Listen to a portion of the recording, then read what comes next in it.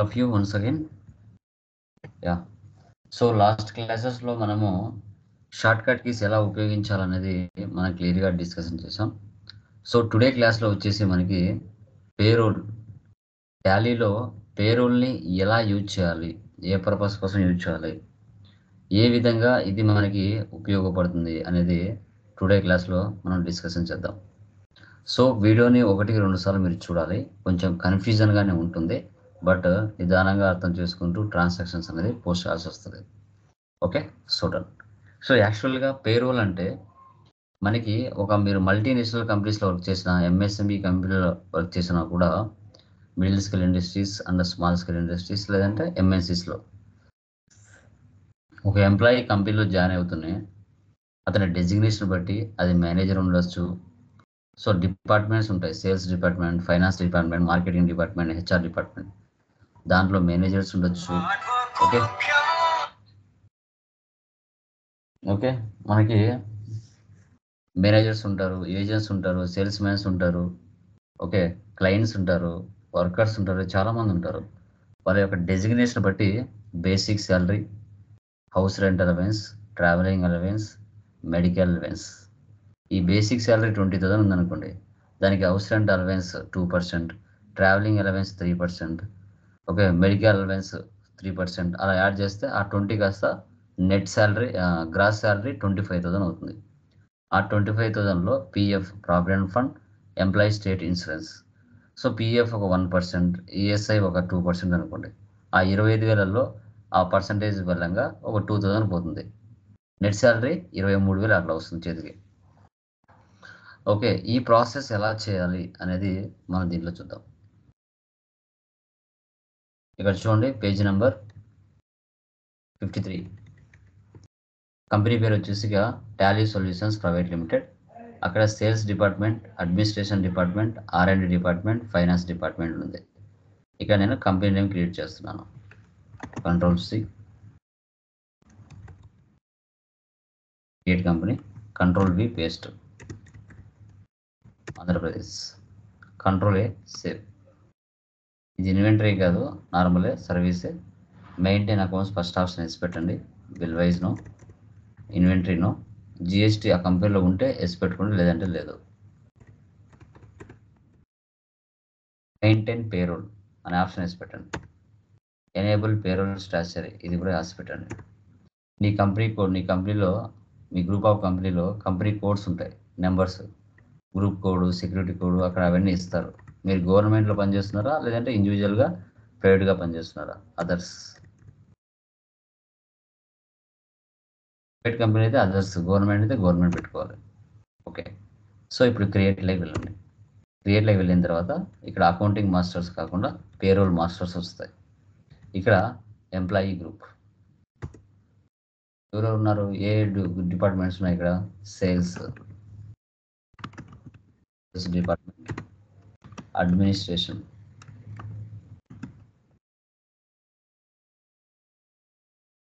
రండి.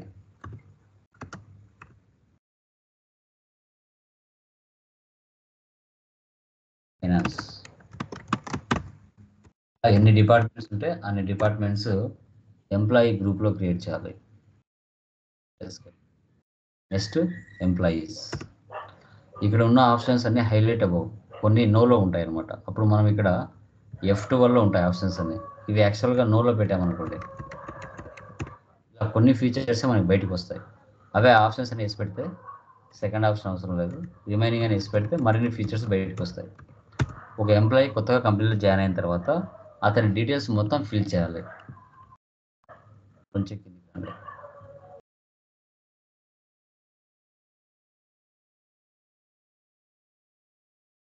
చూడండి. రోహిత్ రాయ్ ప్రీతి Simha Sharma Ramesh. Four members ఉన్నారు. ఒకరు అడ్మినిస్ట్రేషన్ ఒకరు R and department sales finance department date of joining ఒకటి ఎగ్జాంపుల్ ఇచ్చారు. రిమైనింగ్ అన్ని మనం చేసేసారు. ఇక్కడ చూడండి. Rohit Rai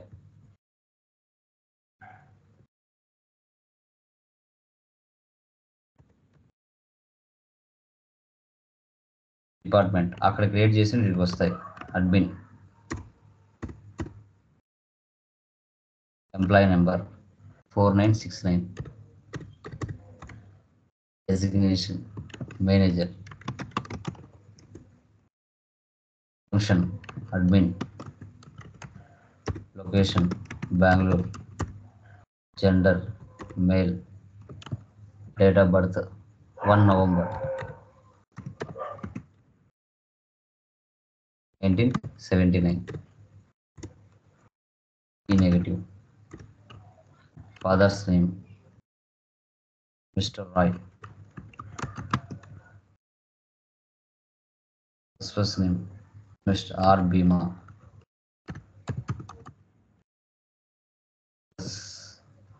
Thirty-six by forty-eight, forty-four.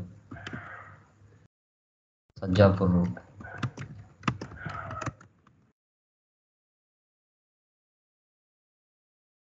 Bangalore. Phone number. మరి రియల్ టైంలో ఏది ఇచ్చి అది ఇచ్చుకోండి ప్రాబ్లం లేదు.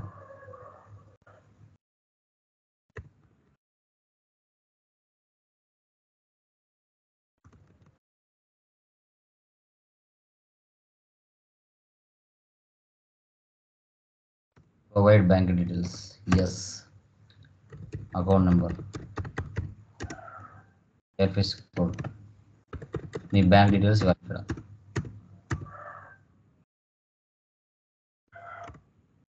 branch. Bengaluru. End of list ఇంకా రియల్ టైంలో పాన్ నెంబర్. ఓకే అవన్నీ ఇచ్చుకోవాలి. ఇక్కడ డూప్లికేట్ ఇచ్చాను పాన్ నెంబర్. పాన్ నెంబర్ ఇచ్చుకోవాలి.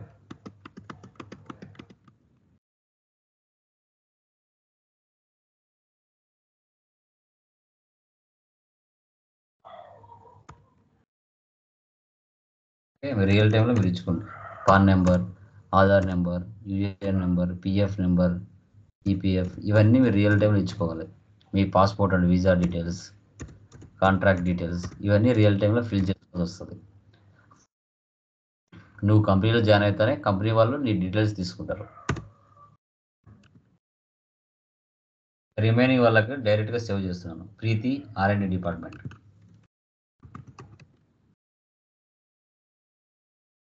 డైరెక్ట్గా సేవ్ చేస్తున్నాను. డేట్ ఆఫ్ జాయినింగ్ ఇక్కడ ఇచ్చుకోండి control next Sharma sales department control Ramesh finance control ఇట్లా ఎంప్లాయీస్ వంద మంది ఉంటే వంద మందిని ఇలాగే క్రియేట్ చేసుకోవాలి. తర్వాత ఎస్కేపీ ఉంటాయి నెక్స్ట్ యూనిట్స్ ఏ విధంగా పనిచేస్తున్నారు? అవర్స్లలోనా మినిట్స్లలోనా? కొంచెం కిందికి వచ్చింది అండి HO URS hours HRS MINS minutes hours of sixty minutes compound.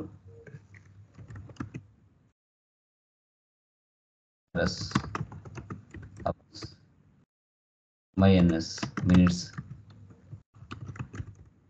రెండు సింపుల్. మళ్ళీ బ్యాక్ వెళ్తే కాంపౌండ్ వస్తుంది. Hours of sixty minutes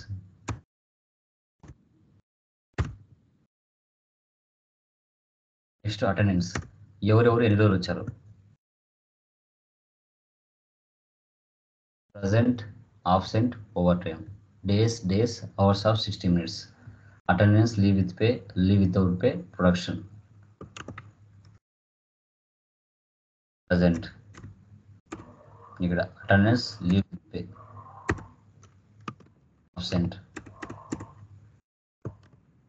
leave without pay next overtime production hours of sixty minutes except no save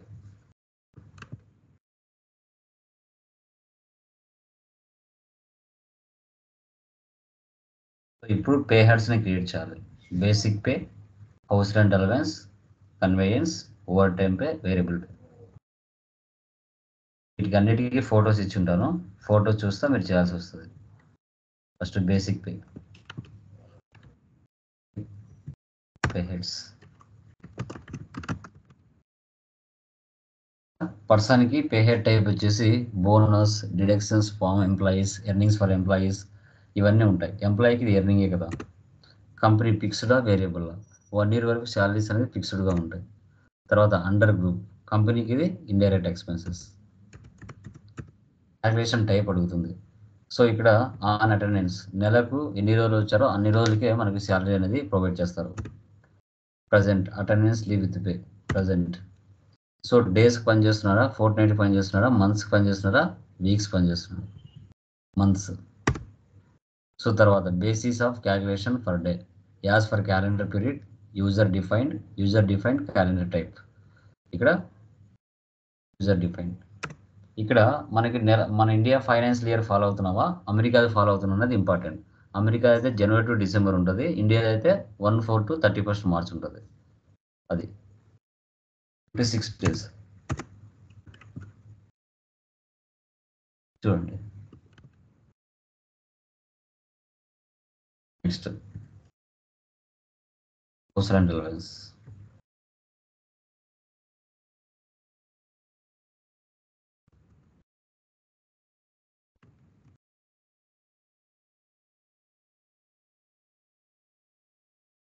calculation type. As computer value తీసుకోవడం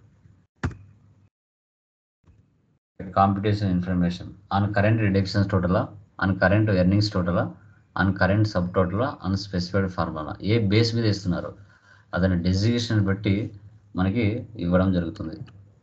So unspecified formula. Basic pay forty. ఎక్సెప్టర్ను save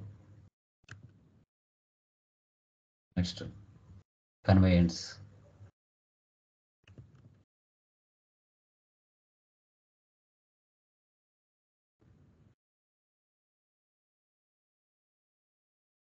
that right. Answer.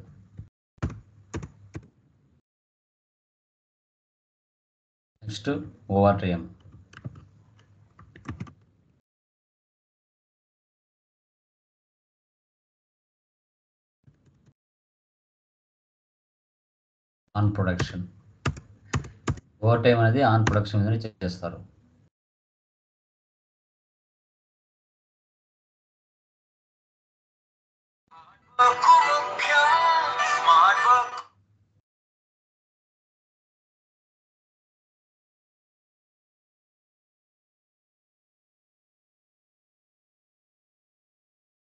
Next variable pay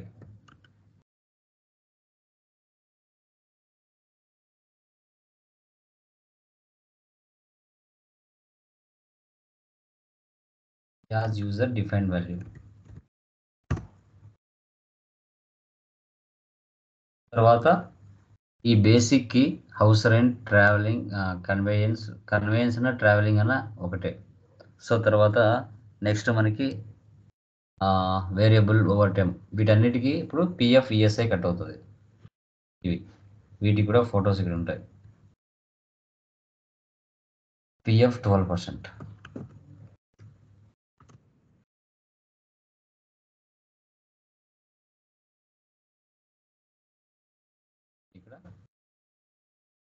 Employees statutory deductions తీసుకోవాలి. పిఎఫ్కి PF account ఇది company current liabilities తర్వాత one year అయిపోయిన తర్వాత so వాళ్ళకి ఇవ్వాల్సిన amount so on specified formula basic pay ఒకవేళ six thousand five hundred నీ అమౌంట్ అయితే అది పర్సంటేజ్ రూపంలో ట్వెల్వ్ పర్సెంట్ అయితే దాని మీద వాల్యూ ఎంత వస్తుంది? Seven eighty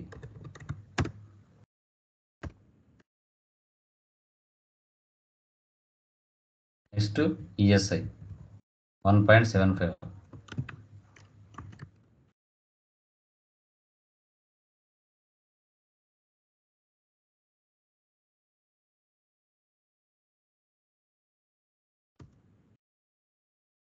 పై state insurance current liabilities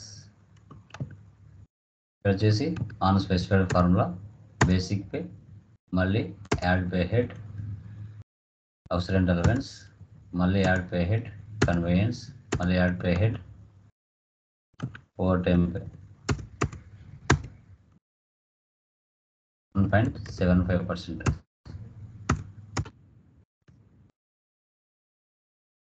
Next professional tax.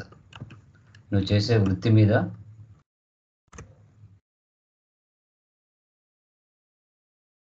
Tax cut అవుతుంది.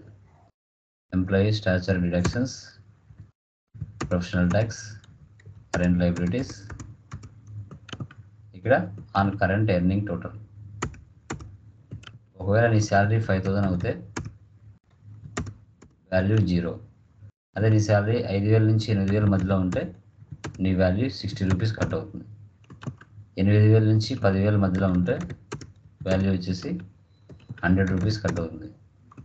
పదివేల నుంచి పదిహేను వేల మధ్యలో ఉంటే వాల్యూ వచ్చేసి వన్ ఫిఫ్టీ.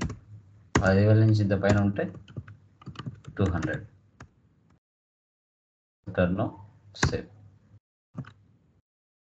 తర్వాత గ్రాడ్యుటీ. గ్రాడ్యుటీ అంటే నువ్వు కంపెనీలో ఒకటే ఒకటే కంపెనీలో పదిహేను పనిచేసావంటే నీకు పదహైదు రోజులు జీతం ఎక్స్ట్రా ఇస్తారు. నెలకు ఇరవై ఆరు రోజులు. ఒకటి నుంచి అరవై నెలలు పనిచేస్తే నీకు ఎలాంటి పిఎఫ్ అమౌంట్ ఇవ్వరు. అరవై ఒక్క నుంచి నూట ఇరవై నెలలు పనిచేస్తే అంటే పది సంవత్సరాలు పనిచేస్తే పదహైదు రోజులు జీతం పనిచేస్తారు. అంతకు మించి పైన ఎంత పనిచేసినా కూడా పదహైదు రోజుల జీతం గ్రాజ్యుటీ రూపంలో నీకు ఎక్స్ట్రా ఇస్తారు. దీన్ని గ్రాజ్యుటీ అంటారు. సో ఈ విధంగా పే హెడ్స్ అన్నిటినీ మనం క్రియేషన్ చేసుకోవాలి. చేసుకున్న తర్వాత నెక్స్ట్ అటెండెన్స్ వేయాలి. ఎవరెవరు ఎన్ని వచ్చారు. అంతకు ముందుగా సెటప్ చేసుకోవాలి. ఎవరెవరికి ఎంత శాలరీ ఎంత పిఎఫ్ కట్టింది ఎంత ఈఎస్ఐ కట్టింది అనేసి ఇక్కడ రోహిత్ రాయ్కి ఎగ్జాంపుల్. ముందు రోహిత్ రాయ్కి ఇచ్చే ముందు సెటప్ చేసుకోవాలి. ఇక్కడ. ఎస్కేప్ ఎస్కేప్ వెళ్ళండి. డిఫైన్ శాలరీ ఒకటి ఎగ్జాంపుల్ తీసుకున్నాం. Sales primary one four first setup చేసుకోవాలి. Basic pay house rent allowance conveyance over pay తర్వాత టేబుల్ పే తర్వాత ప్రొఫెషనల్ ట్యాక్స్ తర్వాత ఈఎఫ్ తర్వాత ఈఎస్ఐ తర్వాత గ్రాడ్యుటీ ఫస్ట్ ఇది సెటప్ చేసుకోవాలి ఇలా. చేసుకొని ఇప్పుడు ఒక్కొక్కరికి ఎంతెంత శాలరీనో వాళ్ళకి ఇచ్చేయాలి.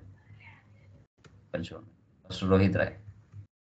seven thousand convenience five hundred over time forty four copy from employee group seven thousand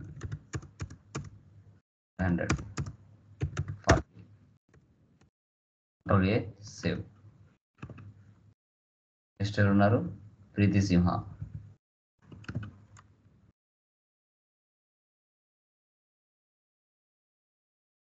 twelve thousand చూడండి హౌస్ రెంట్ అలవెన్స్ దగ్గర పర్సంటేజ్ పోవట్లేదు కాలం అప్పుడు ఏం చేయాలి? ఎఫ్ ట్వెల్వ్కి వెళ్ళి allow to overwrite slab percentage ఈ ఆప్షన్ వేసి పెట్టాలి.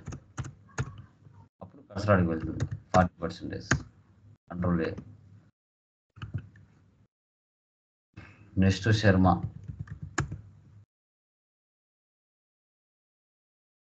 Twenty thousand forty percentage two thousand five hundred. Control A next Ramesh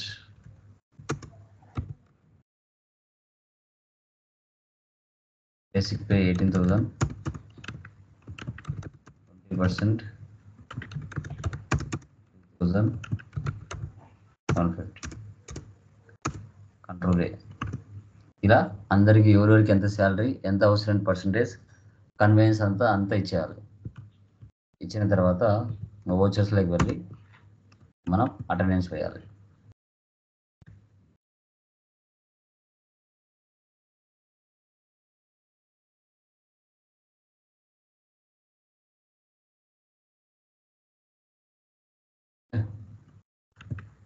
right సైడ్లో other vouchers attendance okay attendance నేను ఫిఫ్త్ థర్టీ ఫస్ట్ మే తీసుకుంటున్నాను. ఎందుకంటే ఏప్రిల్ మంత్లో ఫార్టీ థర్టీ డేస్ ఉంటాయి కాబట్టి ఎడ్యుకేషన్ వల్ల తీసుకోదు. కాబట్టి మే మంత్ తీసుకుంటున్నాను. ఇలా తీసుకున్న తర్వాత ఆటో ఫిల్. ప్రజెంట్ ప్రజెంట్ నెలకి ఎవరెవరు ఎన్ని రోజులు వచ్చారు? ఫస్ట్ రోహిత్ రాయ్ ఫస్ట్ ప్రీతి ఉంది కదా పద్దెనిమిది రోజులు వచ్చింది. రమేష్ ఇరవై రెండు రోజులు వచ్చాడు. రోహిత్ రాయ్ ఇరవై ఆరు రోజులు. శర్మ ట్వంటీ. యాక్సెప్ట్ అన్న సేవ్ నెక్స్ట్ మళ్ళీ auto fill overtime use చేశారు? ఆప్షన్ ఏం లేదు overtime. Rohit Rai seven twenty minutes. MINS Sharma three sixty minutes. MINS save ఈ విధంగా అటెండెన్స్ అనేది తీసుకోవాలి. తీసుకున్న తర్వాత నెక్స్ట్ వేరియబుల్ పే ఇవ్వాలి. సో అంటే ఇక్కడ కంట్రోల్ ఎఫ్ ఫోర్ ఇవ్వాలి ఇక్కడ. కంట్రోల్ ఎఫ్ ఫోర్ ఇలా వస్తుంది. డేట్ థర్టీ వన్ ఫైవ్ తర్వాత రైట్ సైడ్లో ఆటో ఫిల్ సాలరీ తీసుకోండి. ఇక్కడ అరవై రెండు వేల తొమ్మిది వందల ఆరు రూపాయలు వస్తుంది. సేవ్ చేయండి. చేసిన తర్వాత పేజ్ అప్ ఇవ్వండి. వస్తుంది. ఇక్కడ ఏమైంది? వచ్చింది? అరవై ఐదు వేల నాలుగు వందల ఆరు వచ్చింది. ఇప్పుడు వేరియబుల్ పే ఇవ్వాలి కదా. వేరియబుల్ పే ఇద్దాం. ఎవరెవరికి ఉంది వేరియబుల్ పే రోహిత్కి శర్మకి. లాస్ట్లోకి రండి. వేరియబుల్ పే వేరియబుల్ పే ఎంత ఉంది ఇక్కడ? ఫిఫ్టీన్ హండ్రెడ్ ఇక్కడ చూడండి యాక్చువల్గా తొమ్మిది వేల ఎనిమిది వందల యాభై రూపాయలు ఉంది ఇప్పుడు వన్ ఫిఫ్టీన్ హండ్రెడ్ యాడ్ చేస్తే డెబిట్ చేస్తే వాల్యూ పెరుగుతుంది. చూడండి పదకొండు వేల మూడు వందల యాభై వచ్చింది. నిర్మా కూడా థౌజండ్ అమౌంట్ మ్యాచ్ చేయండి చూడండి అరవై ఐదు వేల నాలుగు వందల ఆరు రూపాయలు వచ్చింది. Save next professional tax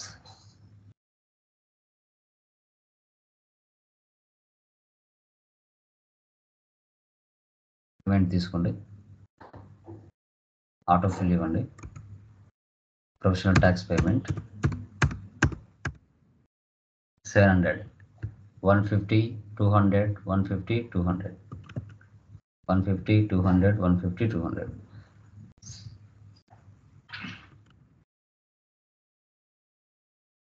వెళ్ళి పే స్లిప్స్ చూడాలి. ఎమో reports payroll reports pay slip Rohit Rai. చూడండి అతని మొత్తం గ్రాస్ శాలరీ పన్నెండు వేల రెండు వందల ఎనభై రూపాయలు. దాంట్లో so professional tax one fifty PF seven eighty ఈ employee ESI one double eight. Total cut అవుతే త్రిబుల్ వన్ ఎయిట్ పదకొండు వేల నూట అరవై ఒక్క రూపాయలు అతనికి బై హ్యాండ్ వస్తుంది. సో ఇరవై ఆరు రోజులు వచ్చాడు ట్వెల్వ్ అవర్స్ ఎక్స్ట్రా పనిచేశాడు అతని బై హ్యా టోటల్ శాలరీ పన్నెండు వందల పన్నెండు వేల రెండు వందల ఇరవై రూపాయలు అవుతే దాంట్లో మనకు PF ESI professional tax cut అయ్యి పదకొండు వేల నూట ఇరవై ఒక్క రూపాయలు వస్తుంది. మళ్ళీ వేరే ఎంప్లాయ్ చూద్దాం. రమేష్. ఇరవై రెండు రోజులు వచ్చాడు. గ్రాస్ శాలరీ ఇరవై మూడు వేల ఆరు వందలు. అతనిలో పద్దెనిమిది వందల తొంభై మూడు రూపాయలు వెళ్ళిపోతే ఇరవై రెండు వేల రెండు వందల ఏడు రూపాయలు అతనికి వస్తుంది. తర్వాత ప్రీతి పద్దెనిమిది రోజులు వచ్చింది. పదహారు వేల ఎనిమిది వందలు ఆమె శాలరీ గ్రాస్ శాలరీ దాంట్లో పన్నెండు వేల ఏడు వందల పన్నెండు వేల పన్నెండు వందల డెబ్బై నాలుగు రూపాయలు వెళ్ళిపోతే పద్నా పదహైదు వేల ఐదు వందల ఇరవై రూపాయలు ఇరవై ఆరు రూపాయలు చేతికి వస్తుంది సో ఈ విధంగా మనము మనము పేరూరు అనేది చేయాల్సి వస్తుంది. ఓకే కొంచెం కన్ఫ్యూజన్గా ఉంటుంది. ఒకటికి రెండు సార్లు వీడియోని మళ్ళీ మళ్ళీ చూడాలి. అప్పుడే మనకు సబ్జెక్ట్ అనేది వస్తుంది. ఇది కొంచెం కన్ఫ్యూజన్గా ఉంటుంది. స్లోగా వీడియో రికా రిపీట్ చేసుకుంటూ చూడొచ్చు అనమాట ఓకే? Any doubts